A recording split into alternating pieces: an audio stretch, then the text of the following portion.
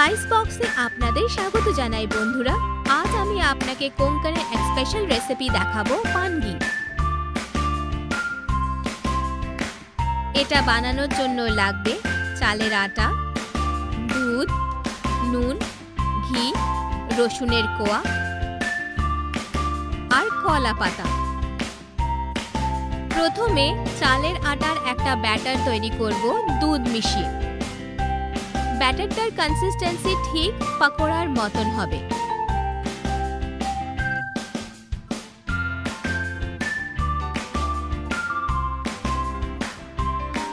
তারপর এতে সামান্য নুন মেশাতে হবে। তারপর ঘি। আর কুচনো রসুন। এই ব্যাটারটা মেখে নিয়ে 10 মিনিট আলাদা সরিয়ে রাখতে হবে। দশ মিনিট পরে ব্যাটারটা তৈরি হয়ে যাবে। এবার গ্যাস অন করুন।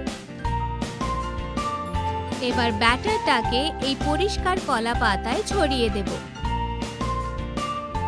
এক হাতা ভর্তি করে ব্যাটার নিয়ে কলা পাতায় রেখে দিন। ঠিক ভাকরির ব্যাটারের মতোই ঘন হবে।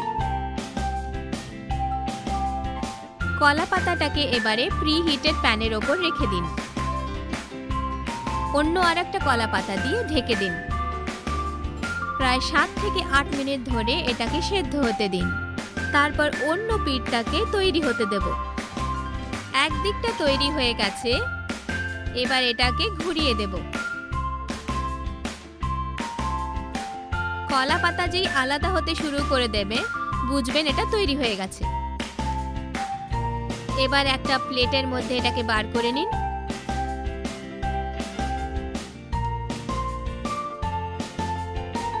তারপর সরাসরি প্যানের মধ্যে এটাকে ভাজুন।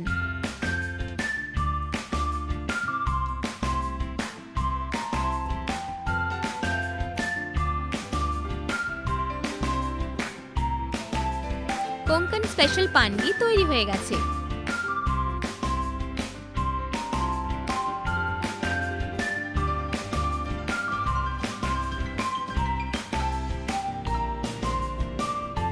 আপনি এটা গমের আটা দিয়েও তৈরি করতে পারেন। এটা আপনি চাটনি বা আচার দিয়ে সার্ভ করতে পারেন। খুব সহজেই হজম হয়ে যায় আর স্বাস্থ্যের জন্য ভালো। Happy cooking